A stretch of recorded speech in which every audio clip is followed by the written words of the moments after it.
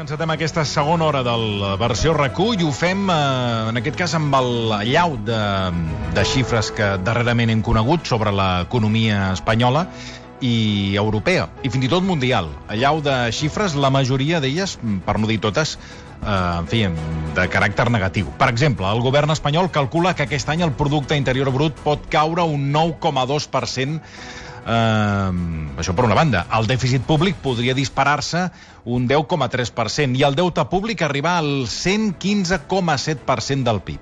En un altre ordre de coses, la, la crisi econòmica ens pot portar una taxa d'atur del, del 19%.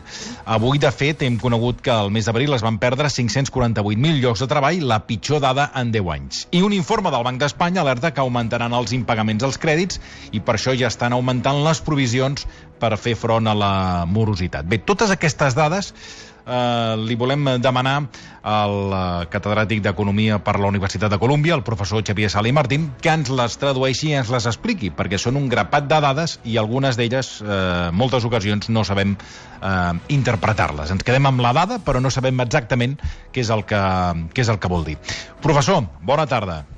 Hola, molt bona tarda. Com anem? Molt bé. Bueno, bé pel que fa a la salut, eh, pel que fa al panorama, doncs eh, podríem dir que eh, expectants a veure què és el que passa. Ni optimistes ni pessimistes, expectants, que és en aquesta posició. Com que vostè m'ha reiterat una i una altra vegada que, que les previsions són relatives, per tant, no m'agafo a, tot seguit, a, tot aquest seguit de previsions que fan eh, tots els organismes, des del govern espanyol, el Banc d'Espanya, l'OCDE, el Banc Central Europeu, el Fons Monetari Internacional, vull dir que estic expectant, professor.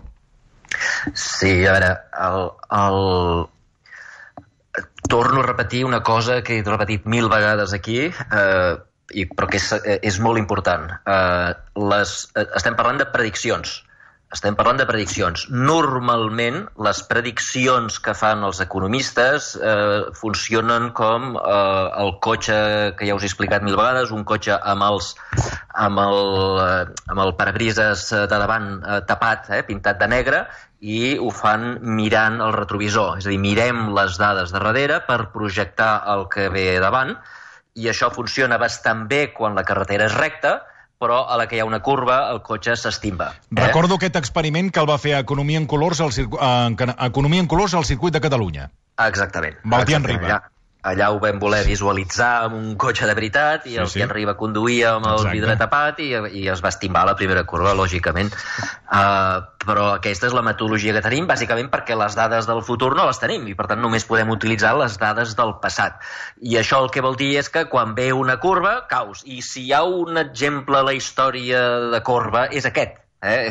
Tot el que passarà demà no té res a veure amb el que va passar ahir i, per tant, les prediccions són més difícils que mai. Eh, I, per tant, tots aquests números que ens donen com si ja fossin dades de veritat, hem de recordar una altra vegada, són dades de prediccions i prediccions en un moment en el que és dificilíssim fer prediccions. Uh, per què és dificilíssim? Doncs perquè tot dependrà de coses que no es poden predir. Per exemple, quan durarà això? Eh, quan tindrem una vacuna, quan hi haurà una solució mèdica, un tractament que més o menys baixi la mortalitat, eh, quan ens tornarem a reconfinar, és a dir, hi haurà un rebrot o no hi haurà rebrot. Tot això els economistes no tenim ni idea, els metges no tenen ni idea, doncs encara menys ho sabem els economistes, però les prediccions econòmiques, el que passarà a l'economia dependrà crucialment de si aquí hem d'estar dos mesos més confinats, sis mesos més o dos anys. Uh, per tant, uh, són prediccions. Segona, el que més s'assembla, les exemples històrics que més s'assemblen a la situació actual no són les crisis econòmiques del passat. El, aquí els analistes, els experts, els bancs centrals, el Fons Monetari, tots estan fent veure que això és una crisi normal. Però, eh, de fet, el que s'assembla més a la situació actual no és una crisi econòmica, allò, allò que fa fallida un banc, que la gent té masses deutes, etc etc. No, el que s'assembla més a la situació actual és, són les situacions de catàstrofe humanitària planetària, un huracà, un terratrèmol. I l'experiència que tenim eh, d'aquestes catàstrofes, mm. per exemple, l'huracà Katrina, que el sí. tenim bastant recent als Estats Units, o el terratrèmol aquell amb el tsunami que va haver-hi al Japó, eh, és que hi ha una crisi econòmica brutal durant uns mesos, eh, el PIB cau, eh, l'activitat econòmica cau un 10%, però que de seguida es recupera el següent trimestre o el següent any eh, puja un 10%. Per tant, al cap d'un any tot està arreglat. Eh, jo no sé si aquesta situació serà igual, però eh, jo diria que si en alguna cosa s'ha de semblar, sempre i quan, i, i això en parlarem després quan parlem dels dèficits, sempre i quan els governs no esguerrin, com van esguerrar la crisi del 2008, doncs eh, és molt possible que totes aquestes prediccions negatives un trimestre es converteixin en inversament eh, proporcionals, diguem, eh, i positives d'aquí un altre trimestre o d'aquí un any. I fins i tot això diria que passa amb els morts. Uh, jo no sé si heu mirat uh, les corbes de mortalitat al món, per exemple, a l'any 1918, que és la darrera gran pandèmia que vam tenir, i es veu que, efectivament, l'any 18 puja enormement la mortalitat, però l'any 19 baixa enormement, per sota de la mitjana. Eh? I el mateix va passar quan a l'any 2015, no sé si recordeu, que la vacuna de la grip a Europa no va funcionar, va ser una catàstrofe aquell any, i la mortalitat va pujar enormement el 2015 per culpa de, de, de, de de molta gent que es moria de grip, però a l'any 2016 va baixar molt per sota de la mitjana, a l'any 2016. I quina és la raó? Doncs la raó és una cosa que és evident, que no cal dir-ho, però, que, però, que, però que fa canviar els números, que és que la gent només es mora una vegada. I, per tant, quan, molta d'aquesta gent que es mora aquest any eh, doncs, perquè, sobretot perquè són avis que tenen diguem, malalties eh, respiratòries latents, eh, doncs potser no haguessin mort el mes de març o el mes d'abril, però haguessin mort en els propers mesos, però clar, si es, si es moren aquest mes, eh, el, el març o l'abril del 2020, no es moriran el març o l'abril del 2021. I, per tant, eh, tot aquest augment de mortalitat es veurà compensat per una reducció brutal de la mortalitat l'any que ve. Eh? És a dir, aquest, aquests moviments eh, enormes de que una cosa puja i després baixa, o primer, o primer baixa i després puja, eh, passen en l'economia, però fins i tot també passen en la mortalitat. Eh, I la tercera cosa que m'agradaria eh, dir com a, com, a, com a prèvia és que moltes de les mesures tradicionals no funcionen moltes de les dades que ens dona el Banc Mundial o el Fons Monetari o el Banco d'Espanya eh, no serveixen per res. Uh, Deixem-me que us posi només un exemple i és el de l'IPC. Eh? Mm. Uh, L'IPC, tots estem preocupats de que si imprimim diners pujaran els preus, patapim, patapam, uh, per saber si perdrem poder adquisitiu, s'ha de saber com evolucionaran els preus, no? Uh, a veure, què és l'IPC? Recordem-ho, l'IPC és el preu que té una cistella de productes, eh, eh, que, diguem, és la cistella que el català típic, o l'espanyol típic, o l'americà típic, o l'americà mitjà, eh, compra. Eh? És a dir, l'IPC és un resum de tots els preus. Per saber si els preus pugen o els preus baixen, doncs com que no podem dir 25.000 preus, perquè la gent compra 25.000 coses, fem un resum, que és la mitjana. I aquesta mitjana el que fem és eh, doncs, fer la mitjana eh, eh, doncs de, del que compra el ciutadà mitjà. Eh? És a dir, les cols de Brussel·les no tenen la mateixa importància que el petroli. Per què? Doncs perquè tradicionalment la gent compra, fa servir més petroli o més benzina que no pas cols de Brussel·les. I per tant, el pes que té les cols de Brussel·les en l'IPC, que és un índex, que és una mitjana de tots els preus de tota l'economia, les cols de Brussel·les tenen un pes petit, el lloguer i la benzina tenen un pes molt gran. Eh? Uh, però què ha passat ara? Doncs que aquesta cistella ha desaparegut la gent no compra la mateixa benzina que abans perquè no pot sortir de casa. La gent no pot, als restaurants no pot anar-hi. No, per què? Perquè estan tancats. El cinema no existeix. I, per tant, la cistella que fèiem servir fa dos mesos no és la que tenim ara. I, per tant, quan els, les institucions segueixen produint l'IPC o segueixen generant l'IPC i segueixen fent previsions sobre l'IPC i previsions de com baixarà el nivell de vida en el futur, eh, doncs, clar, estan basats en una cistella de la compra que, que ha desaparegut del mapa no és la que tenim ara. I, per tant, les dades no tenen cap mena de sentit, o tenen molt poc sentit. Eh? Tot això no vol dir que la teva premissa, la teva introducció sigui falsa. Eh? Estem vivint una crisi enorme perquè bàsicament la gent no treballa i no treballa perquè no pot anar a treballar, perquè no els deixem anar a treballar, perquè en aquests moments l'economia passa a ser, diguem, la, la, el segon violí eh, de, de, de l'orquestra, el primer violí passa a ser la salut, passa a ser la, la, la, passa a ser la, la, la virologia, i, i per tant hem de, eh, els, els hem d'obligar a tothom a quedar-se a casa i per, i, i per tant moltes coses que abans produïem no es produeixen, moltes coses que abans compràvem no les comprem i per tant hi ha un xoc d'oferta, no produïm coses, hi ha un xoc de demanda, no comprem coses i això fa que, òbviament, l'activitat econòmica baixi. Però al tanto amb utilitzar les mesures tradicionals per mesurar tot això perquè ens estan portant a, a, a, diguem, a, a unes conclusions o unes prediccions, prediccions que des del meu punt de vista tenen un valor bastant, bastant, bastant proper a zero. Professor eh, Sala i Martín, um, per exemple, el govern espanyol uh, apunta que aquest any el producte interior brut pot caure a Espanya un 9,2%. Anem a fets reals. Parlem d'una... Això, això, això és una previsió. El que sí sabem és que en el primer trimestre d'aquest 2020 el producte interior brut ha caigut un 5,2% eh, a Espanya. Um, la primera pregunta, això què vol dir? O sigui, aquesta és una primera pregunta. I després, com pot ser que hi hagi hagut aquesta caiguda tan important, tenint en compte que el gener i febrer, i fins al, podríem dir, 14 de març, l'economia funcionava eh, en ple, ple, ple rendiment, no? Eh, com pot ser aquesta caiguda tan significativa? I si ha caigut un 5,2, la previsió pot quedar curta a un 9,2? I primer de tot, eh, repeteixo, què vol dir això del 5,2 que hagi caigut? A veure, el, el producte interior brut, recordem, és la, la suma de tot el que es produeix en una economia com la catalana, el que es produeix a Catalunya, tot el que es produeix a Catalunya, la suma dels valors de tot el que es produeix a l'economia catalana durant un període. En aquest cas que m'estàs mencionant tu, un trimestre. Mm. Eh? Uh, Eh, això per què ho fem així? Doncs bé, perquè, clar, a Catalunya produïm moltes coses, no? Produïm pizza, produïm serveis hotelers, produïm cotxes, produïm... I llavors, clar, no es pot sumar, eh?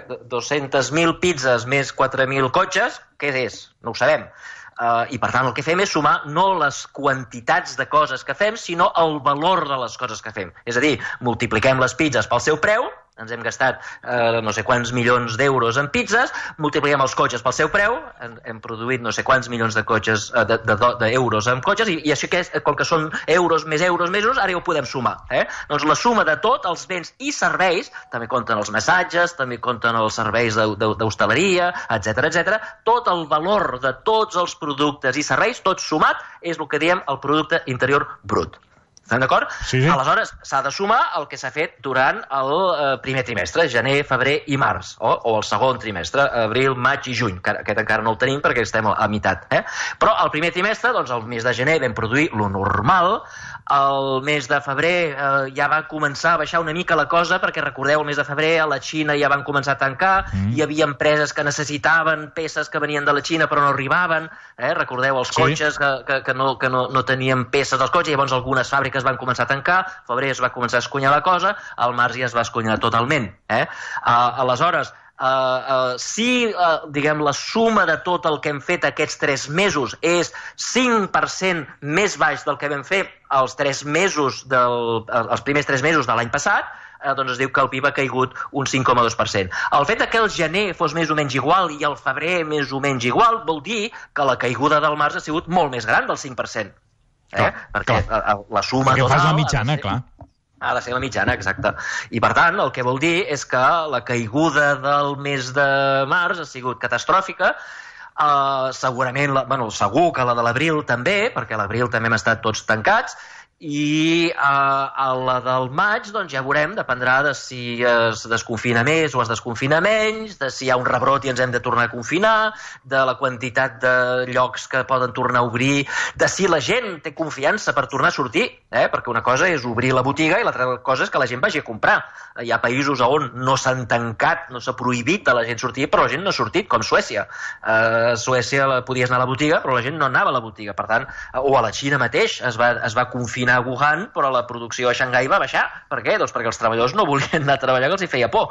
Uh, I, per tant, eh, diguem, segurament la caiguda del segon trimestre serà més baixa. La caiguda de tot l'any no la sabem, tampoc, eh? i es fan prediccions de com caurà al llarg de l'any, no ho sabem per què? Doncs perquè no sabem si el mes de juliol tindrem una vacuna, si tindrem una, un tractament, si els desconfinaments doncs, donen lloc a rebrots i per tant ens hem de tornar a confinar durant el mes de juny, i com que no ho sabem, diguem, la, la, la caiguda de la producció dels propers mesos, doncs, bàsicament és eh, ciència-ficció. Eh? El que sí sabem, la dada que tu m'has donat, la podem comentar perfectament perquè és una dada del passat. Això ja ho hem vist sí, i això sí. sí que ho tenim. Uh, com això anirà la resta de l'any, doncs dependrà de coses que en aquests moments no es poden predir, com és el, les solucions mèdiques. I, I amb una situació com la d'ara, hi ha alguna manera de, de girar la truita, o sigui, de, de remuntar, o és impossible? O sigui, és una caiguda que no, no és impossible de, de frenar i és una caiguda a plom, per entendre'ns.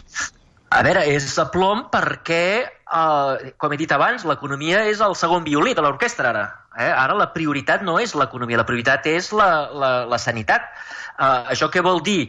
Doncs que per més que tu diguis escolta, hem de salvar l'economia, hem de el, PIB, salvar el PIB, hem de salvar els llocs de treball, si Déu no ho vulgui, però si les mesures de desconfinament no funcionen durant el mes de maig, doncs es tornarà a tancar tornarà a tancar i si es tanca la gent no podrà treballar. I si la gent no va treballar les empreses no podran obrir. I si les empreses no podran obrir no es produirà.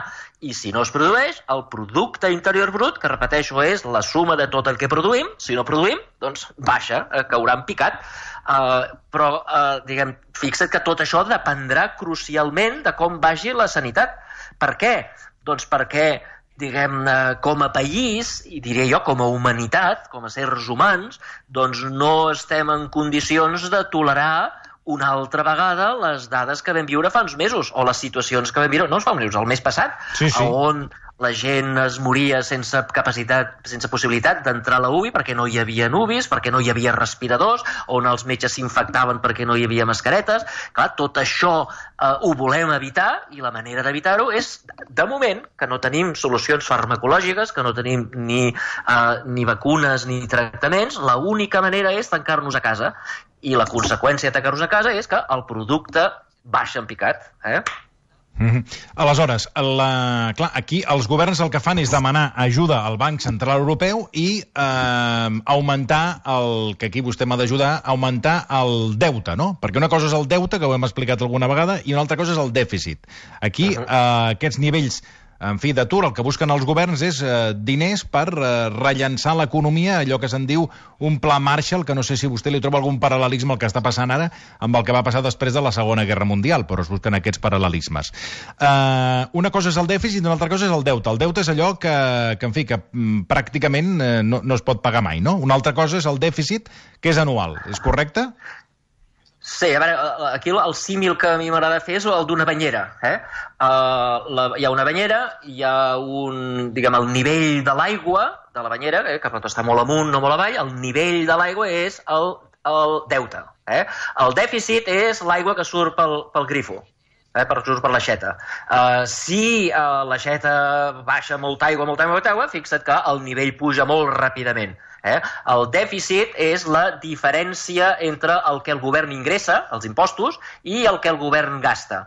Quan el govern gasta més del que ingressa, eh, doncs té un dèficit, eh, i això fa que s'hagi d'endeutar. I si tu t'has d'endeutar, aquest mes has de demanar prestat doncs, 10.000 milions, vol dir que eh, deus 10.000 10 milions més que el que devies. El que devies ho segueixes devent. Eh? Si tu devies 100.000 milions i aquest mes n'afegeixes 10.000, doncs eh, passes a deure 110.000 milions. Eh? Devia 100, que és el deute, n'afegeixes 10, que és el dèficit, doncs ara passes a deure 10.000 Uh, uh, 10.100... Uh, uh, 110.000. 110.000, perdona. 110.000, vale? Sí, sí. Uh, doncs bé, el, el, el, deut, el dèficit és inevitable en aquests moments. És inevitable gastar més del que ingresses és inevitable per dues raons. Primera, eh, recorda, dèficit és la diferència entre, entre el que tu gastes, entre el, I que, tu ingresses, i el que tu gastes. Vale? Uh, el que tu ingresses, bàsicament, el que el, el, el govern ingressa, bàsicament, ha caigut en picat. El, el govern ingressa diverses, diversos, té diverses bon, fonts d'impostos, però bàsicament les dues grosses són el valor afegit que, que, i, i l'altre és el, el, la renda de les persones físiques. Eh? El, valor, el valor afegit ha caigut en picat. El valor afegit és el que produeixen les empreses, el valor que creen les empreses. Si les empreses estan tancades no hi ha valor afegit, no s'afegeix res. Per tant, l'IVA, la recaptació de l'IVA, cau en picat. I la renda de les persones físiques, eh, l'impost que la grava és l'impost sobre la renda de les persones físiques, l'IRPF, doncs aquí, com que la gent, molta gent no ingressa o no ingressa tant com abans, perquè els propietaris de les botigues i els restaurants doncs, estan ingressant zero, els treballadors bé, ingressen menys perquè estan en ERTES o, o estan acomidats, els, els treballadors eh, autònoms doncs, no cobren res, etc etc. Eh? com que baixa el que ingressa la gent, doncs els ingressos del govern, que depenen d'això, també baixen. Per tant, per una banda, el govern ja sabem, no és una predicció, eh? ja sabem que el govern està ingressant moltíssim menys que no pas ingressava el mes de gener. Però, per altra banda, les despeses estan augmentant d'una manera brutal. Per una banda tenim les despeses mèdiques, les mascaretes, els respiradors, els, el, els tests, tot això que demanem al govern que compri, doncs òbviament això costa calés. I segona, el govern està gastant doncs, eh, amb, amb, amb l'atur. Eh? Tots els, els ERTOs, els, els, els, els ERTOs, els EROs, eh, tot, tot, tota la despesa que ve associada a una crisi tradicional també augmenta de manera brutal i, a més, estem demanant al govern que ajudi a les empreses. Sí, sí. Uh, I això també a més despesa. I, per tant, ingressos cap avall, despeses cap amunt, està claríssim que el dèficit pujarà, eh, o que el dèficit no pujarà, ja ha pujat, ja és enorme, i per tant, la, diguem, el grifo està, està, està llançant aigua a la banyera i el nivell de la banyera puja, puja, puja, el deute pujarà i els, els savis aquests que fan prediccions diuen que arribarà a estar, ara estava al nivell 100, 100% del PIB, doncs aquest nivell pujarà fins a 115, diuen. Eh, jo suposo que s'equivoquen cap a la baixa, que pujarà molt més, però, eh, insisteixo, això són prediccions i, i qualsevol elucubració en aquests moments és vàlida. Ara que feia referència a això del, del deute, eh, varen parlar amb el doctor en Economia, Andreu Mascolell, respecte de passar del 100, que és on està ara Espanya, al 110-115, i això és el que deia ell al voltant d'aquest deute a Espanya està aproximadament 100% eh, per cent de deute, eh, pot, amb tot això pot anar al 110% i, el, i la diferència entre 100% i 110% és estrictament eh, quina és la política de, de tipus d'interès del, banc, del Banc Central Europeu. Si el Banc Central Europeu puja els tipus d'interès, Llavors el nostre deute no és sostenible ni a 100 ni a 110. Eh, si manté els tipus d'interès eh, eh, baixos com estan actualment, eh, llavors el 100% és viable i el 110% eh, també és viable. I està d'acord, eh, professor? Totalment d'acord, eh? amb, el, amb el mestre Mascolell gairebé sempre estic d'acord, eh, entre altres coses perquè va ser el meu mestre, Eh, però sí, sí. Eh, a veure, eh, en aquests moments eh, hi ha molta gent que es preocupa del deute, del 10%, 110, 120, sí. així. Eh, a veure, eh, estem... El, el Titanic s'està enfonsant. Eh? Eh, I les nostres prioritats econòmiques han de canviar han de canviar. Uh, Preocupar-se pel dèficit, per la inflació, pel que ens preocupava fa dos mesos, és com preocupar-se per les cadires del Titanic, eh? si estan ordenades les cadires a cobertes i ja posar, hem d'intentar arreglar-les bé quan el, el vaixell s'està enfonsant. Eh? Uh, la prioritat ara mateix és fer que l'economia sobrevisqui.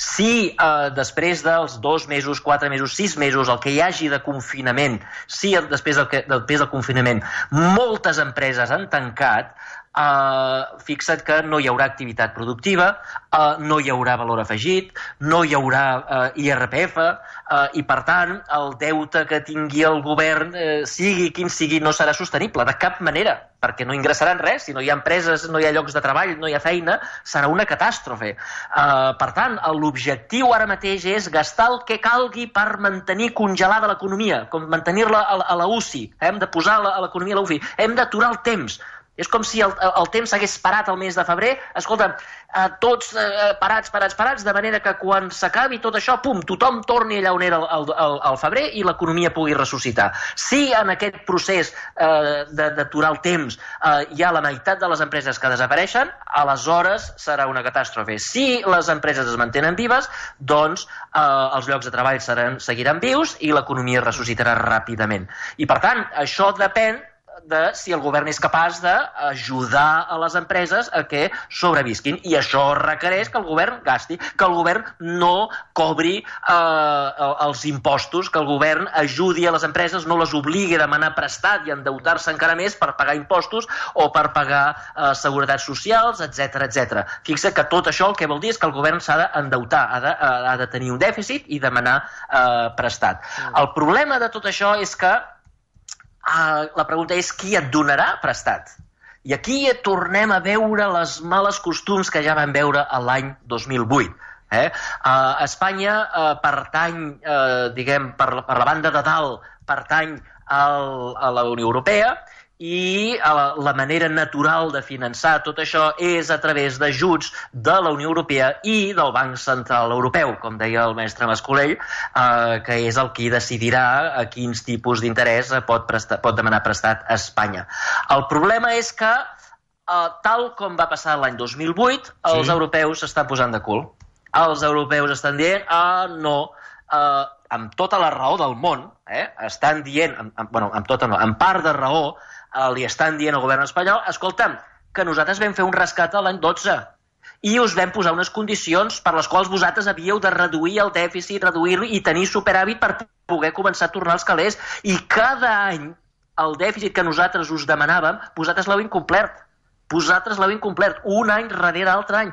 Per tant, eh, nosaltres ara no us ajudarem en condicions favorables.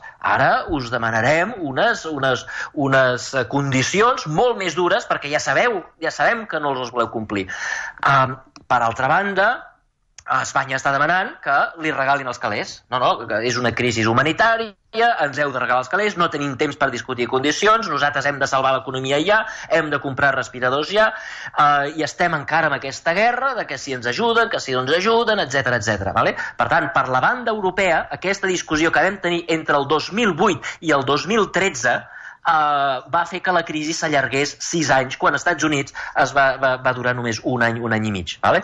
Uh, uh, la solució de tot això, recordeu, que també ho hem discutit en aquest programa, va ser quan el Mario Draghi va dir uh, whatever it takes, farem sí. el que calgui per salvar l'euro. Van mm. imprimir diners, van rescatar les economies de, de la perifèria i allà es va acabar la crisi, es va acabar, vam deixar de parlar de la prima de risc, vam deixar de parlar de tot, uh, però van tardar sis anys van tardar sis anys. I Europa porta el camí de tornar al mateix debat i, per cert, ahir va haver una molt mala notícia. El Tribunal Constitucional alemany va dir que eh, des del seu punt de vista era inconstitucional que el Banc Central Europeu comprés deute de països.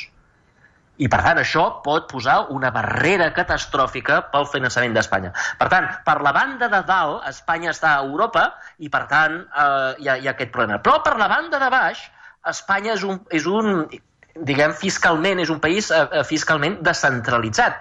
Quan Europa li deia, escolta'm, eh, eh, teniu un total, Espanya en el seu conjunt pot tenir un total de dèficit del 3%, eh, eh, volia dir que la suma dels dèficits dels ajuntaments, de les comunitats autònomes i del govern central, els tres han de sumar, 3 per, eh, han de sumar el 3% de dèficit. Vale? Recordeu? Sí, sí, sí. Uh, el que feia el Montoro, recordeu tots, era, ah, vale, 3%, doncs mira, els ajuntaments no, no poden tenir dèficit, zero.